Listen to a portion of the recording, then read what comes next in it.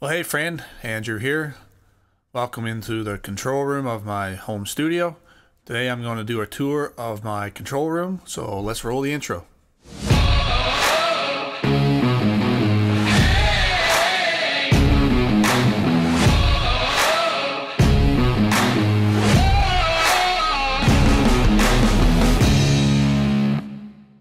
Well, welcome to episode two Control Room Tour. Uh, before we jump into the tour, I just want to offer you a couple free gifts just for watching this video today. Um, the first one is my home studio construction blueprint. So if you go to www.andrewpeachmusic.com forward slash studio dash blueprint, you can pick up my home studio construction blueprint. It's a 10 step uh, guide uh, for building a home studio. This is my second home studio now. So hopefully that'll be helpful to you. The second one is my studio outfitting guide uh, for home studios. So if you go to, again, www.andrewpeachmusic.com forward slash studio dash outfitting dash guide, you can get a copy of my outfitting guide. It's eight step uh, process uh, that I've used now to outfit two studios with all the equipment you see behind me and how to stay on budget. So again, uh, hopefully, one of those two is helpful to you. If it may be, then, like I said, head on over to my website and grab those for free um, just for watching today. So, uh, thankful to have you as a viewer for sure. So, without further ado, let's jump into the control room tour. Okay, here we go with the control room overview 2021.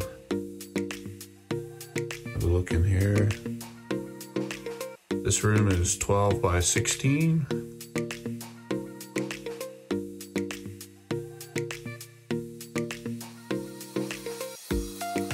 Starting off over here in the corner. You see I've got some my phones and batteries, cameras, batteries for the lights. I've got a cajon stored there and my trouble my trouble kit. That'll be the subject of another video. I've got a power bar, power strip on the wall there pretty handy plugging everything in. Couple power amps down in the bottom, came out of the movie theater, I think. And what do we got in here? MIDI cables, USB drives, hard drives, track lights, more batteries and phones and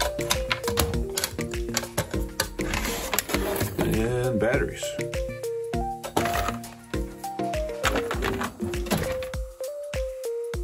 Um, desk. So the desk you can see wraps all the way around almost. So those are uh, it's custom are custom built.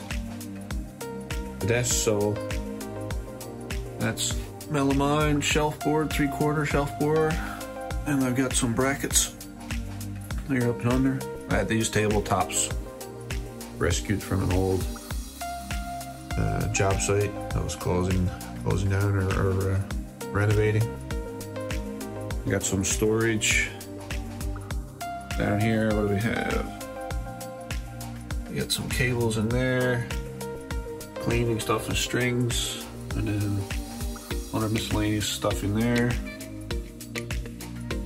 Power cables, patch cables, it looks like mic packs, mic bags. Some more camera stuff, stationary stuff, books, book queue, candy. I always gotta have candy in the studio. Now we're at the mix position. So I've got the comfy chair, the rollerblade style wheels, getting around and nice and quiet. Uh, where do we start? We got a Studio Live 32 mixer interface, whatever you want to call it. So it's got 32 channels, um, full of effects. It's got 16 mixes. So I'm using seven right now. I can track seven people at the one time. A headphone amp that I have. I've got the capability for 16. See there, I've got, I can get the light out of the way. All my channels up as far as 28 are used, and I've got four spares. Uh, really good mixer. Um, anything I'm showing in this video, I'm not sponsored by anybody at this point in time, anyway. If I was, I would tell you. Uh, but yeah, great product. Um, if you're used to analog consoles and you're moving to digital for the first time, this is a good one to start with.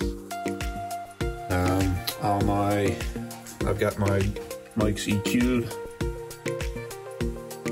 going in to the board.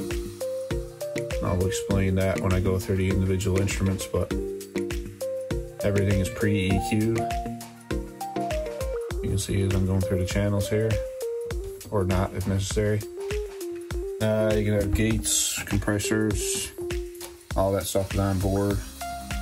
As you can see there, so it's nice because you can clean the signal up. Uh, if you're using the same instrument all the time, you can clean the signal up going in uh, to your DAW, so um, that's always handy.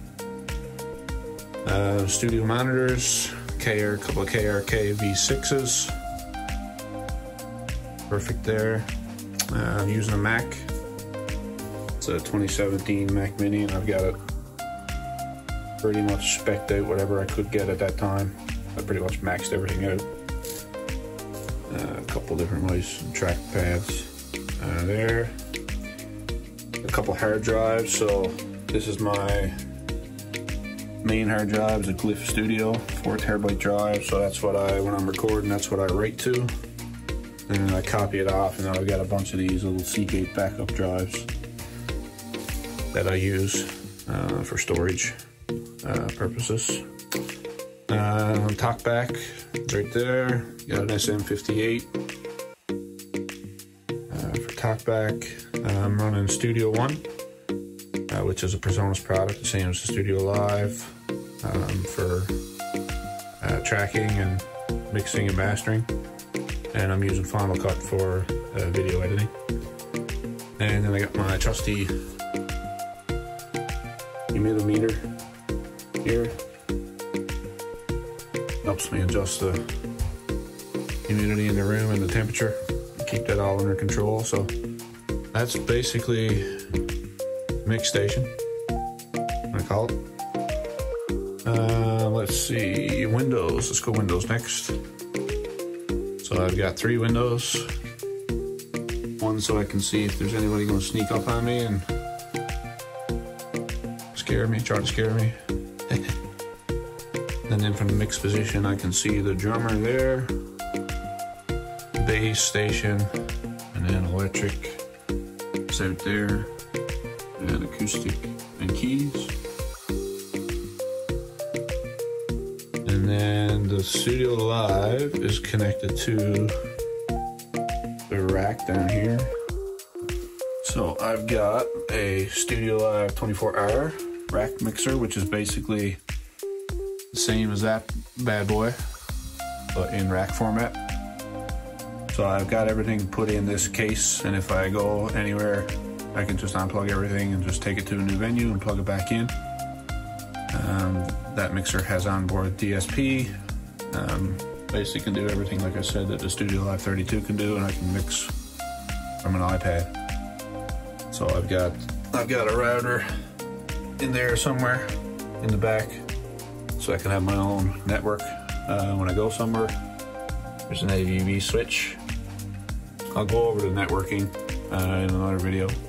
I haven't seen anything with the monitoring, but for monitoring, I've got a HP60 PreSonus again.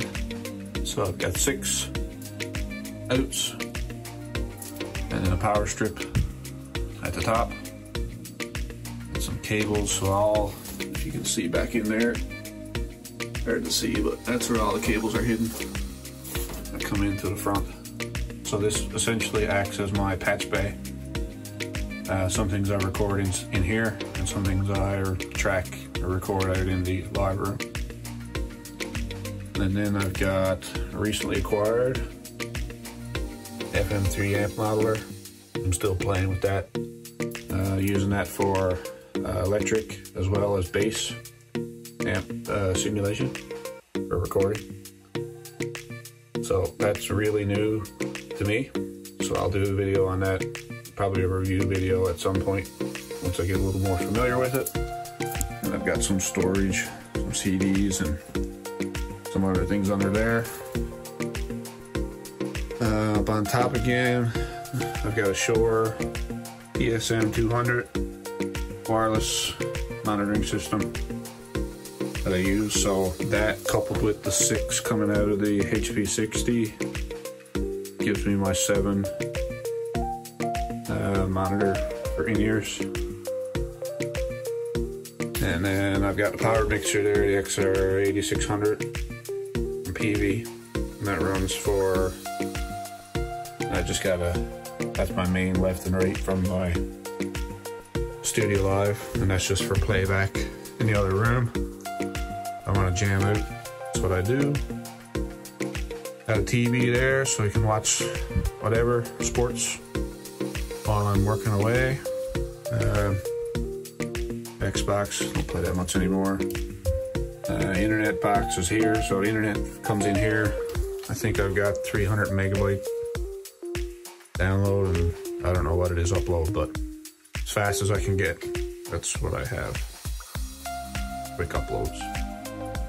Um, guitar repair gear is there, and the station there for doing that. I've got another computer station here. So whereas the mixing station is Mac, this one is PC, run off the Dell laptop there. I do design work from home, design and engineering work from home, so uh, that's partially why I've got this set up, but some things run better on this system than what they do on the Mac, so I've got two different options. Yeah. Gotta have a couch. I didn't have a couch in my first control room, the first studio that I built in another house. And it's got a quilt on it that my mother made for me. Really comfy for Saturday or Sunday afternoon naps, watching golf or NASCAR or whatever. And filing cabinet and new printer. Really useful. The door, as you can see, it's got glass. That's the only thing that's leaking sound, but it's kind of okay. Got it pretty tight to the floor. Pretty straightforward. Flooring in here, I've got laminate wide plank flooring and some uh, mats down, protective mats for rolling around on the chair. Walls are all soundproofed. Ceiling is soundproofed and tile. I've got the Primacoustic one by one panels in here, 12 inch by 12 inch. And I've got the Auralex LENRD bass traps in the corners. You can see, and that's a hatch to go out under the addition to the house. I need to get out there. And lighting. So I've got a track light there. And a track light there. And pot lights are mainly the source of light. And then I've got the option to dim the pot lights. This is the way I usually have the room lit. Or I can turn off the pot lights. And that's not a bad option either And with the track lights off. That's a possibility if you're tracking right there and you don't want to be a distraction. Or I can pot lights back on and dim them as I want. Nice and bright for this video, but yeah. That's my control room. So let's uh, let's head back and wrap it up. Well, that was a tour of my control room. Hopefully, that was helpful for you to see how I have things laid out here and organized, and some of the equipment that I use in my home studio. Um, stay tuned for more exciting content. I'll be working through some of the detailed review of some of the equipment out in my live room and the rigs that I have set up out there, uh, as well as more exciting things to come. So if you like this video, please subscribe, and we'll see you in the next one.